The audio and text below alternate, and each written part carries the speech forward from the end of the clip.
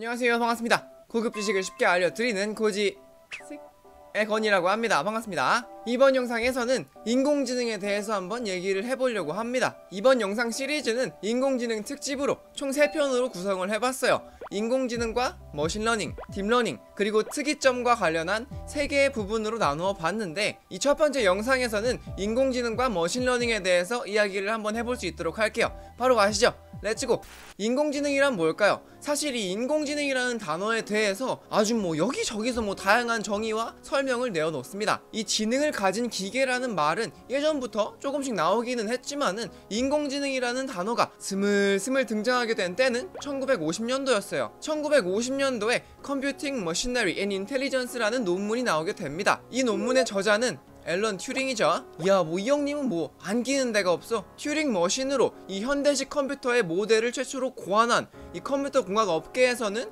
이 컴퓨터 공학의 아버지로 불리는 인물이죠. 이 논문을 살펴보게 되면은 보통 컴공의 논문 중에서는 이 인용 횟수가 500회, 100회만 돼도 야 아주 영향을 많이 끼친 논문이라고 여겨질 수가 있는데 무려 인용 횟수만 12,350회. 사실 내용을 보면은 현대식 논문의 구성과는 조금 다르지만은 이 논문의 시작에서 Can machine think? 과연 기계는 스스로 생각을 할 수 있을까? 라는 질문을 세상에 던지면서 인공지능에 대한 이야기가 세상에 퍼지게 됩니다. 그리고 이 논문과 관련된 이야기는 컴퓨터 학계뿐만이 아니라 여러 분야에서 흥미롭게 분석이 이루어졌어요. 뭐 예를 들면 뭐 철학 분야, 심리학 분야, 논리학 분야, 뭐 신경외과 분야 등을 포함한 여러 분야에서 관심 있게 지켜보게 되는 거죠. 그러다가 이 신경외과 분야에 있던 이 워렌 맥컬록이라는 사람이 어 이거 인공지능 나도 관심 있게 보던 건데 이거 내가 생각했을 때 이거 인간의 신경망과 유사하게 뉴런들을 만들고 얘네들을 이제 그물망 형태로 연결을 하면은 사람의 뇌에서 동작할 정도까지는 아니지만 이 기계가 사람같이 간단하게 흉내 낼 수 있는 거는 가능할 것 같다 라고 하면서 이 뉴런들로 이루어진 신경망에 대해서 수학적인 모델을 제시하게 되는 거죠. 하지만 이 연구는 이 연구의 성향이 강하여서 이 모델을 이용해서 의미 있는 결과를 만들어내지는 않았었죠. 그리고 1958년도 코넬 대학교에서 심리학을 연구하던 심리학자 프랭크 로센블렛이 이 신경망, neural network의 수학적인 모델뿐만이 아니라 이거를 활용을 해가지고 실제 문제를 해결할 수 있었던 응용 perceptron을 공개를 하게 됩니다. 이 연구에서는 신경망을 이용해가지고 뭐 영어 문자, 숫자 혹은 간단한 이미지들을 스스로 분류를 하고 식별을 해내는 테스트까지 보여주니까 사람들이 놀래는 거죠. 야, 이거 뭐야? 야 이거 perceptron 이거 어마어마하잖아? 야 얘가 문제를 척척 푸는 거를 보니까 이거 가능성이 있는 연구구나 라고 인식을 하게 되고 perceptron 이론과 관련된 연구들에 대해서 돈이 갑자기 몰리게 됩니다 이 돈이 몰리게 되면은 자연스럽게 이 분야로 연구원들도 많이 이동을 하게 되겠죠 반면 perceptron 연구가 힘을 받기 시작을 하니까 반대로 이 인공지능과 관련을 해가지고 신경망을 사용하는 이론이 아닌 이 다른 방법으로 뭐 예를 들면은 기호나 통계를 기반으로 인공지능을 학습하자 라고 주장하던 사람들은 한순간에 이 대부분의 지원이 이제 perceptron으로 가게 되니까 힘을 잃게 되는 거죠. 야, 우리는 이 인공지능을 이론적으로 잘 연구를 하고 있었는데 갑자기 어디 뭐 신경외과 사람이 와가지고 뭐, 뭐 신경망? 뭐 이런 뭐 멋있는 단어를 얘기하면서 기계를 학습한다고 하니까 돈도 다 그쪽으로 가고 아주 기분이 나빠요. 그래서 인간의 사고 방식을 기호 체계로 나타내던 연구를 하고 있던 마빈 민스키 박사가 마운드에 등판을 합니다. 이때가 1969년도였는데 여러분들 perceptron 멋있죠? 막 신경 막 나오니까 막 눈이 돌아가시죠? 근데 이거 현실적으로는 이거 말도 안 되는 이야기입니다. 하면서 그 주장을 뒷받침할 수 있는 XOR 문제라는 걸 딱 제시를 합니다. 이 XOR 문제와 관련을 해서는 다음 영상인 딥러닝 부분을 설명을 드릴 때 쉽게 설명을 드릴 수 있도록 하겠습니다. 그래서 이 마빈 민스키 박사가 수학적으로 증명한 이 perceptron의 허점을 보니까 사람들도 야 역시 인생 실전이네. 이거 신경망인지 뭔지 이거 한계가 있을 것 같기도 하네. 라는 인식이 퍼지게 되는 거죠. 그래서 이쪽 분야에 베팅을 한 연구원들이나 이 투자금도 갑자기 회수가 되고 이 지원되던 예산도 대폭으로 삭감이 되기 시작합니다. 물론 이 초기 이 신경망 모델이 가지고 있었던 XOR 문제와 관련을 해서 나중에는 이 신경망에 이 hidden layer를 추가를 한다거나 뭐 역전파 알고리즘 등 다양한 방법들을 통해서 이 XOR 문제를 극복을 할 수 있다고 밝혀졌지만은 사실 이 인공지능에 대해서 이 대중들은 이 부정적인 시선도 많이 가지고 있었어요. 이 1980년도 이게 뭐 어떤 시대입니까? 뭐 이때까지만 해도 컴퓨터가 많이 소형화가 되기는 했지만은 이제 뭐 흑백에서 뭐 8비트의 컬러를 가진 컴퓨터로 뭐 전환이 뭐 되니 안 되니 하던 시기였기 때문에 야 이거 어? 이거 아무리 생각해도 이 기계가 인간처럼 생각을 하고 그 지능이라는 것을 가질 거라고는 믿기가 힘든 게 사실이었죠. 이때는 이 컴퓨터라고 하는 것들의 이 계산 능력도 막 뛰어나지도 않았고 일단 학습을 하려면은 데이터가 있어야 되는데 데이터도 많이 부족했었어요. 그래서 몇몇의 연구실에 의해서만 인공지능과 관련된 연구가 이루어지고 있었죠. 그리고 2000년대 초반 이 컴퓨터의 계산 속도가 이 무어가 예측한 그대로 말도 안 되게 빨라지고 있고 이 시기에는 초고속 인터넷도 보급이 되니까 전 세계적으로 데이터가 이 물밀듯이 쏟아지고 있어요. 인공지능 연구실 입장에서는 데이터가 쏟아진다는 거는 이 기계가 학습할 수 있는 재료들이 쏟아져 나온다는 것이고 이 컴퓨터의 속도가 빨라진다는 거는 이 학습의 재료들을 더 빨리 더 많이 학습할 수 있어짐을 의미를 하죠. 그래서 이때부터 인공지능 연구는 다시금 활기를 찾게 되고 2006년도에 토론토 대학교에서 공부를 하던 컴퓨터 과학자 제프리 힌턴이 deep learning의 핵심이라고 불리는 DNN 심층 신경망이 발표가 되게 되는 거죠. 여기까지 인공지능이 발전해온 역사에 대해서 이 굵직굵직한 이야기들을 소개를 시켜드렸는데 뭐 어려운 단어가 많이 등장을 했죠. 대략적인 역사를 알아봤으니까 이제부터는 인공지능, machine learning, deep learning, 뭐 신경망 이런 단어들에 대해서 쉽게 설명을 해드릴 수 있도록 할게요. 그러면은 인공지능이란 무엇일까요? 사실 이 인공지능이란 단어를 한 문장으로 설명하기는 어려워요. 기계를 학습을 시킨다, 혹은 인공적인 지능을 가진 기계라는 이야기가 뭐 1930년도부터 스물스물 기어나온 이야기다 보니까 시대가 발전함에 있어서 이 뜻과 범위가 계속 조금씩은 바뀌어져 왔죠. 그래서 제가 이 요즘 단어와 기술을 얹어가지고 이 사람들이 말하는 인공 지능에 대해서 얘기 얘기를 한다면은 인공지능은 big data와 이 발전된 computing power를 기반으로 해서 이 알려진 학습 기술들 뭐 예를 들면 machine learning, deep learning을 통한 스스로 학습 그리고 그 학습의 결과가 인간에게 이롭게 사용될 수 있는 기술인 거죠. 어 잠깐만요 거니님. 이거 뭐 단어 하나를 설명하는데 뭐 요즘 뭐 hot하다는 단어는 뭐 다 가져다 끼워 놓으신 거 아닙니까? 하실 텐데 어쩔 수 없어요. 나중에 10년 20년 뒤에 인공지능에 대한 정의가 지금의 정의와 조금은 다를 수가 있지만은 현재로서는 이 big data 같은 이 고급진 단어들을 사용을 한번 해본 거죠. 사실 이 인공지능이라는 단어는 예전에 이 컴퓨터가 많이 발전이 안 됐을 때는 야 이 고철이 어떻게 이 사람보다 똑똑할 수가 있냐 하면서 사실 와닿지가 않았을 때였어요. 그리고 시간이 지나니까 컴퓨터의 발전은 그야말로 another level에 와 있었죠 예를 들면은 1988년도에 대한민국이 270억을 들여서 구매한 슈퍼컴퓨터 1호기의 스펙은 quad-core CPU에 램은 1기가였어요. 지금이랑 비교했을 때 여러분 스마트폰에 있는 램이 뭐 4기가에서 많게는 뭐 12기가 정도 될 텐데 270억짜리 슈퍼컴퓨터보다 메모리가 12배나 크죠? 얼마나 발전이 단기간에 이루어졌는지 짐작이 가시죠? 그래서 2000년대 중반쯤에는 이 기술이 발전해 오면서 이 뚜렷한 발전이 없었던 인공지능 분야에 대해서 이 다양한 연구소들도 생겨나고 인공지능 개발이 본격적으로 활발해지기 시작을 하는데요. 근데 이때쯤에도 여전히 대중들의 반응은 시원치가 않았어요. 야 이거 인공지능인지 뭔지는 모르겠는데 아직까지 뭐 음성인지 하나도 제대로 못하는데 뭔 놈의 인공지능이냐 하게 됩니다. 뭐 예를 들면은 체스를 두는 컴퓨터가 뭐 세계 체스 챔피언을 이겼대요. 대중들은 어?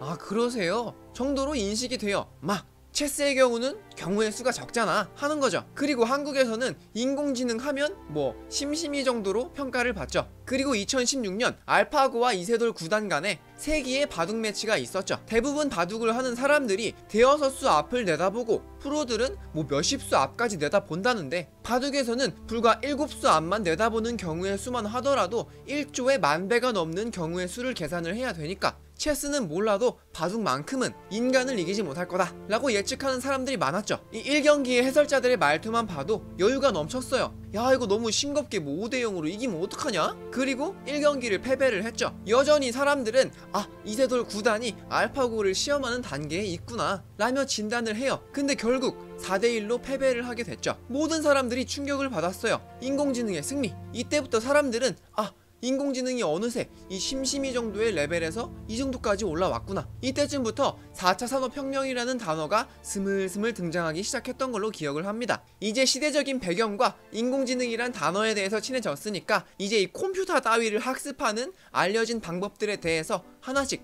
살펴볼 수 있도록 할게요. 이제 여기서부터 멋있는 단어들 한 트럭 등장합니다. 일단은 인공적인 지능. 이 인공지능이 하나의 큰 울타리를 치고 있어요. 이 모든 거는 인공지능이죠. 그리고 컴퓨터에게 인공적인 지능을 가지게 하려면은 교육을 시켜야 됩니다. 맞죠? 그 기계를 학습시키는 모든 방법을 기계학습이라고 해요. 영어로는 machine learning이죠. 그 다음 질문은 인공적인 지능을 가지기 위해서 학습을 시킨다고 하는데 어떻게 시킬 거냐? 겠죠? 크게 봐서는 두 가지가 있습니다. 사람에 의해 학습이 된 machine, 그리고 스스로 학습을 한 machine. 이제 사람에 의해 학습이 된 machine의 예를 들어 보자면은 여러분 심심이라고 기억하시나요? 우리가 어떤 말을 하면은 이제 심심이가 나의 말에 대답을 해주는 chatbot이었는데 얘 같은 경우는 어떤 단어를 꺼냈을 때 어떻게 반응을 할지 사람이 직접 모든 단어에 대해서 대응 방법을 알려주게 됩니다. 그 데이터가 쌓여가지고 뭐 나중에 2, 3년 뒤에 심심이를 처음을 하는 사람이 어떤 단어만 말해도 그 단어에 대해서 심심이가 잘 대답을 해주니까 그 사람은 마치 이 엄청난 인공지능을 가진 챗봇인 것처럼 느껴지게 될 수도 있다는 거죠. 심심이는 이 단어에 대한 대응 방법을 스스로 생각하지 않고 사람이 직접 입력을 해주니까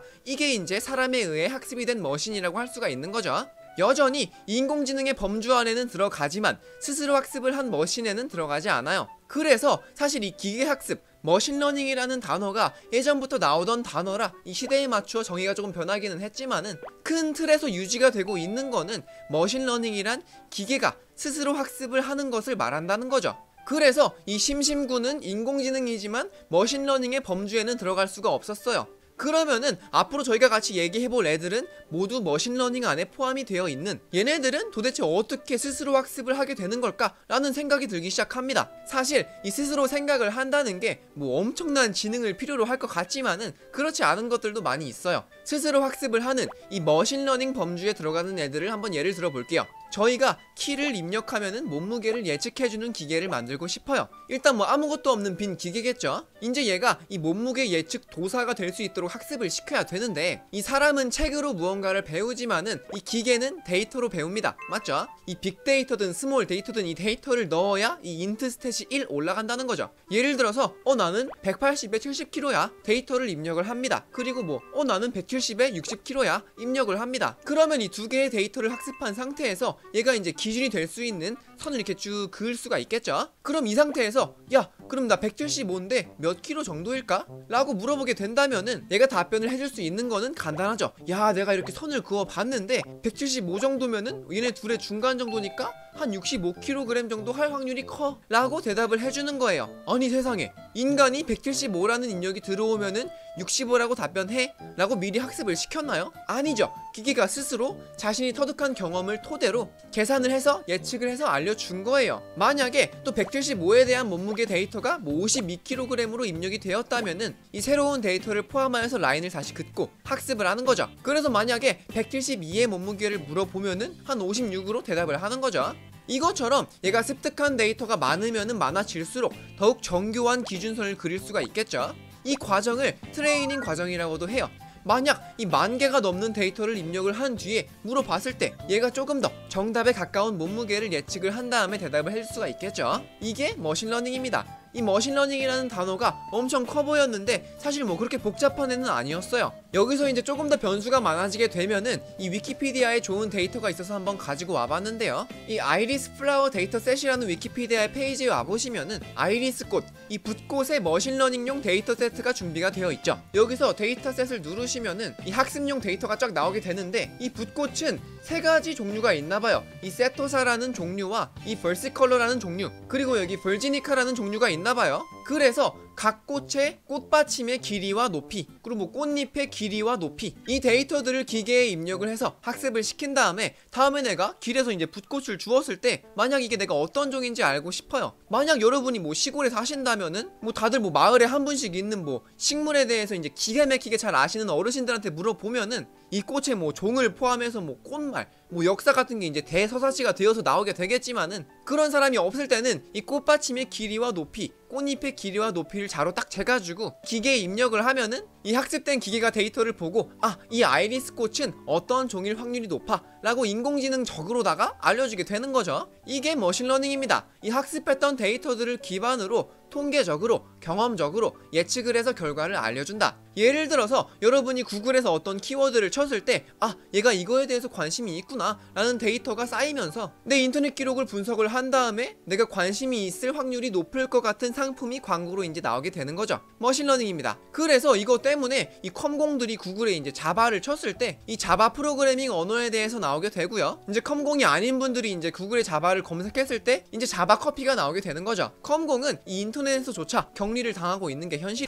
야, 내가 이제 machine learning에 대한 설명을 대충 들어봤는데 야, 이거 별로 어렵진 않은 것 같다. 야, 근데 사람들이 말하는 거는 뭐 이렇게 간단한 게 아닌 것 같던데? 하실 텐데 사람들은 이 machine learning과 관련을 해가지고 예전부터 유용하게 사용을 해왔습니다. 왜냐하면은 이 비교적 작은 데이터만으로도 그 경험에 기반해서 나름 최선의 답을 주게 되니까요. 그리고 뭐 인간이 뭐 데이터를 입력하는 방식이니 뭐, 뭐 꽃받침이니 뭐 꽃잎이니 꽃망울이니 뭐 몇 개의 기준점이 있어도 뭐 상관이 없어요. 야 근데 아무리 생각을 해봐도 이 키를 기반으로 뭐 몸무게를 예측을 한다니 뭐 사이즈 가지고 뭐 꽃의 종자를 예측을 한다니. 뭐 이런 인공지능이라는 거를 보고 뭐 영화관에서 뭐 로봇가 뭐 싸우고 뭐 인류를 뭐 지배를 한다느니 뭐 그런 거랑 비교해봤을 때 야 이거 너무 거리가 멀어요. 이거 분명히 같은 인공지능으로 분류가 되는 애들 아닙니까? 그래서 이 기존의 간단한 기계 학습 방법에서 이 기계를 더욱 강력하게 사람보다 월등히 뛰어난 수준으로 한 단계 더 발전을 시켜보자 라고 해서 더 강력한 학습 방법들에 대해서 다시 한번 기대를 가지고 있는 거죠. 시대적으로는 준비가 됐어요. 이 넘쳐나는 데이터들로 한번 진하게 한번 학습을 한번 해보자 라고 해서 machine learning의 범주 안에 이렇게 조그맣게 따로 자리하고 있는 분야가 이제 deep learning이라는 분야입니다. 그러면 다음 영상에서는 일반 machine learning 학습법보다 더 강력하다고 평가를 받고 현재로서는 가장 널리 사용되는 deep learning에 대해서 알아볼 수 있도록 하겠습니다. 고급 지식을 쉽게 알려드리는 고지식을 시청해주셔서 감사합니다. 거니였습니다.